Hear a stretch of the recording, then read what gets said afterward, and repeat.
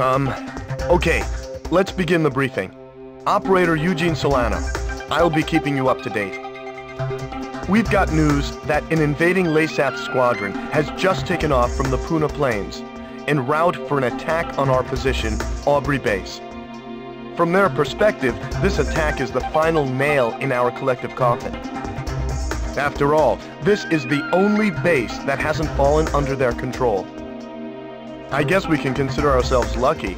It looks like the enemy has gotten a little overconfident and sent only a small attack force. Gryphus Squadron, prepare for launch immediately.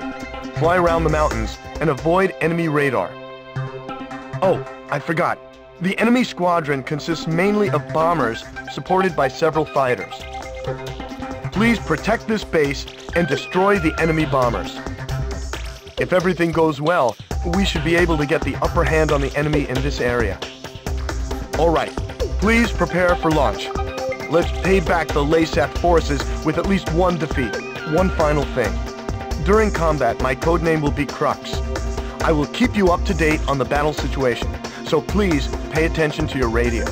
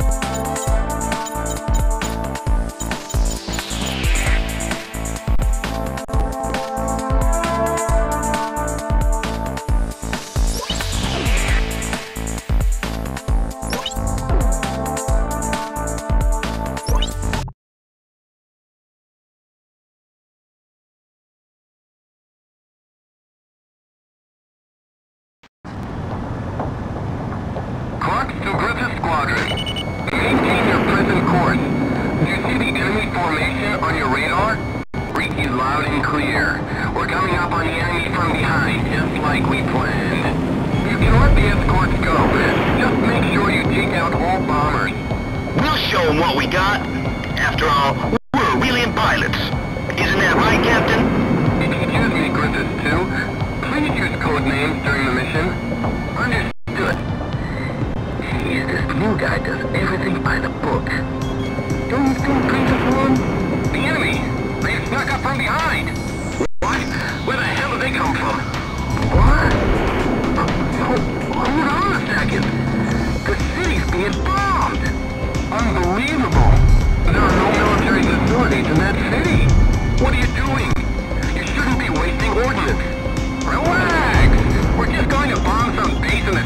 Right? There'll be more than enough ordnance left to finish the job. One bomber down! Another one has been shot down! Where the hell is our escort? You did it! Good job! We're sitting ducks up here! Hurry up and shoot them down!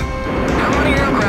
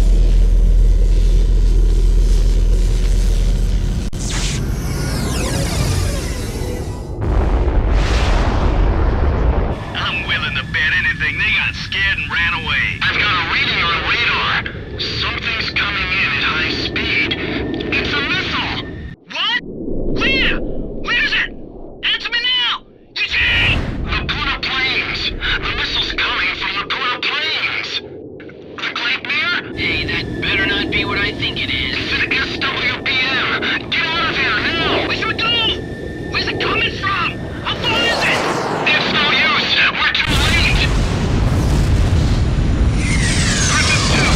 Come in, 2! 2! 3! And anyone!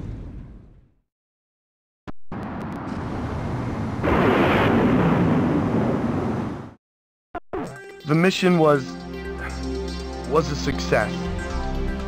The destruction of the enemy bombers will help keep an enemy invasion of Aubrey Base at bay. However, we also suffered serious losses. That... There's no way anyone could ever call this mission a success. I'm sorry. I couldn't do anything to save them. So that's the super weapon Leasath used to take over all of Aurelia in only 10 days. Who could have imagined that they possessed such destructive power?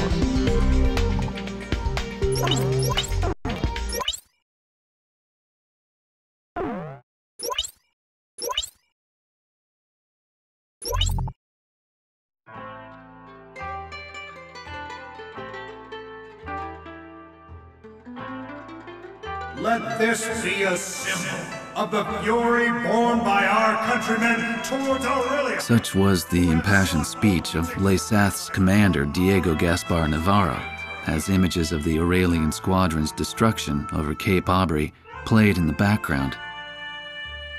A day later, his gravelly voice continued to echo through my hungover brain. October, one year after the cessation of the Democratic Republic of Leasath's civil war. After the Civil War, Leasath began to set their sights on their peaceful neighbor, the Federal Republic of Aurelia, claiming retribution for years of exploitation. The invasion suddenly began.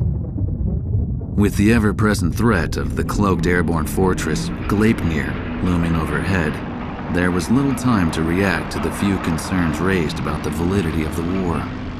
Such was the speed at which all of Aurelia fell under Leasath's control. Well, not everything has fallen into their hands, but it's only a matter of time.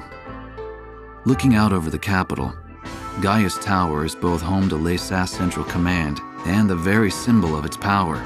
It was originally intended to be a symbol of Aurelia's peace. How ironic.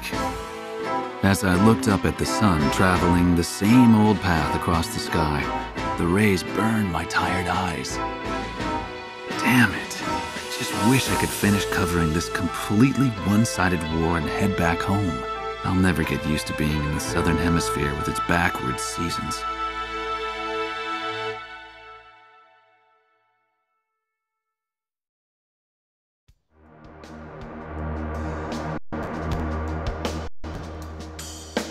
The Gleipnir was last confirmed heading southeast across the Puna Plains. However, we lost all trace of it shortly after. Unfortunately, Aurelia's information network can provide no further details at this time. We'll just have to take what we can get.